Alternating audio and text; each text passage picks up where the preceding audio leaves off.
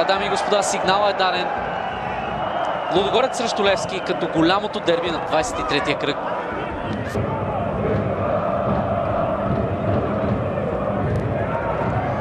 От друга страна, три рокади за Левски след равенството 0 на 0 с ЦСКА преди седмица.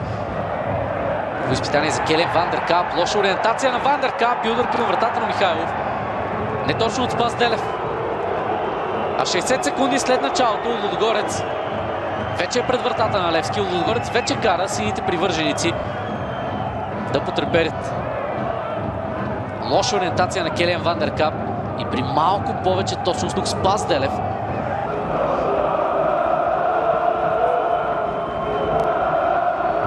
Пак Филип Кръстев. Отново с добро подаване. Билобари не успява да оцели вратата. Габриел Галчев. Възможност за Илян Стефанов. Намеса на Серджио Пат.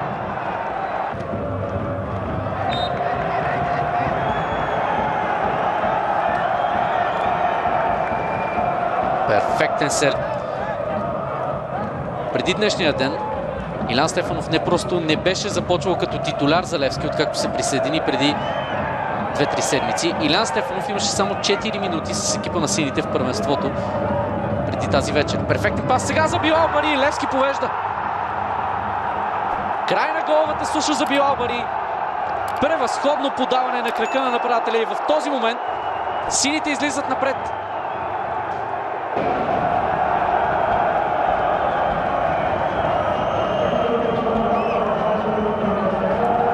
Перфектно включване на Хосе Кордоба. Съвършения пас, за който може да мечтае всеки един нападател и безкомпромисен завършващ удар от Билобари.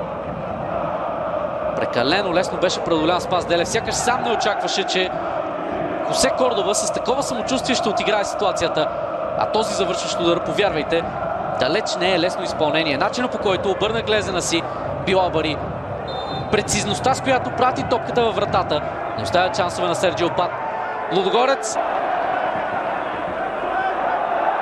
Сантана. Хитро подаване на Сантана. Топката остава за Десподов, който пък много атрактивно, изключително изобретателно опита да изведе после Пьеро Сотирио. Първото топката обаче е Николай Михайлов. Пловдив по Сунберг е несменяем титуляр в отбраната на сините, откакто дойде през зимата. Келен Вандеркап също започва постепенно да се утвърждава в този състав. Пас за Спас Делев. Изцяло забравен от отбраната на Левски. Спас Делев отново се оказва на стрелкова позиция. Но това изпълнение е неточно. Да бъде намерен Пьеро Сотирио. Стефанов загуби от Сантана. Кръстев го спира. Патри Габриел Галчев. Флага остава долу. На този етап няма засада срещу Уелтън. Сходи от крилото към центъра. Хубаво изпълнение на Уелтън над вратата на Пат.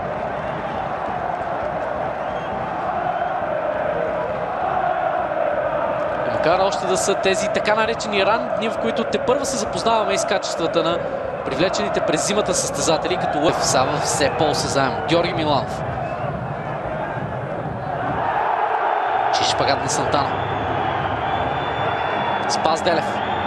Словия за нещо интересно от Лудогорец. Спас Делев. Чудесно подаване за Десполов. Топка над вратата. И има обаче отново вдигнат флаг. Нова засада.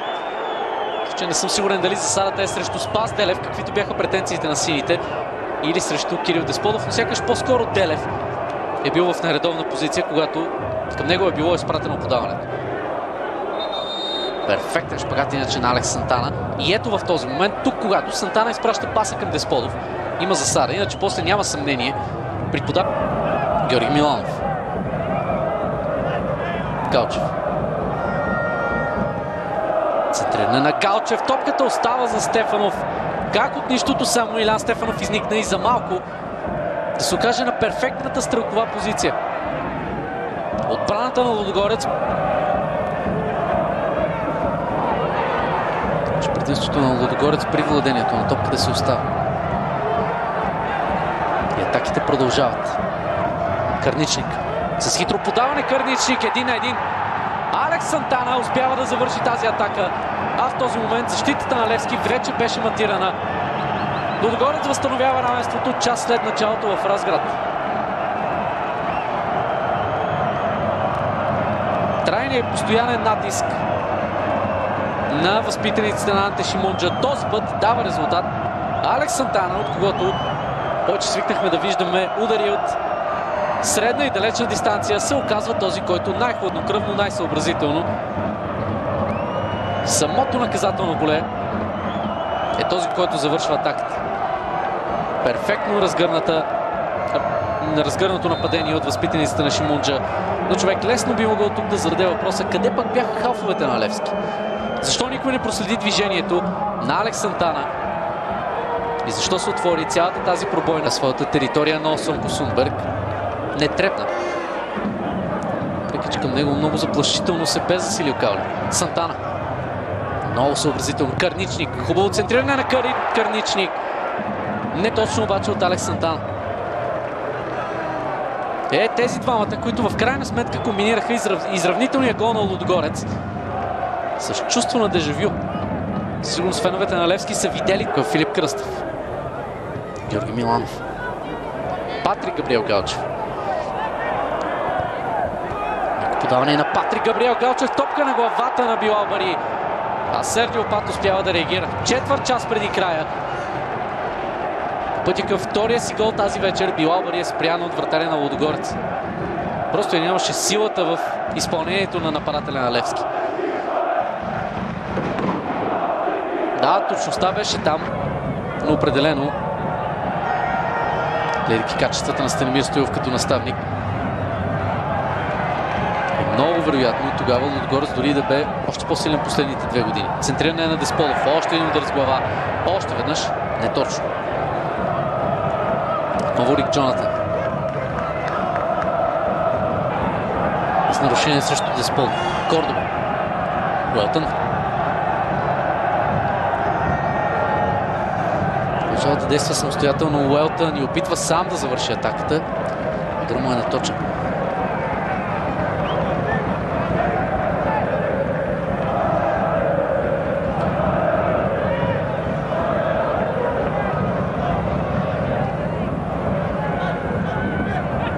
Връщайки спомена за мача на Лудогорец срещу Ботев Враца, във Враца преди седмица, лесно можем да кажем, че в момента навлизаме в тези минути, които са най-резултатните за разгречение от началото на първенството. Като добавите гол на Пиерио Сотирио, донесъл успеха във Враца в 96-та минута. От началото на този сезон Лудогорец вкара цели за дублиран от Каричник Десподов отново с подаване към Каули. През цялото време обаче Пиеро Сотирио продължава да е много зорко пазен. Сега удар на Сотирио. Каква намеса от Пламен Андреев. Тога. А често казано тук, Левски трябваше да реагира. Левски нямаше право, без да е чул сигнала, по този начин да изключва. И след рикошет дори в тялото на Ноа Сонко Сунберг, това се оказа. Центриране на Десполов. Токата е пратена към вратата. 2 на 1 за Лудогорец. Крайна сметка стигат седмица по-късно до нов обрат.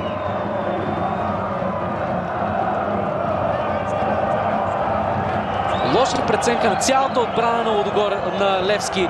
И в този момент тази неточност бива наказана. Не съм сигурен дали изобщо Пиеро Сотирио съзна, праща тази топка към вратата.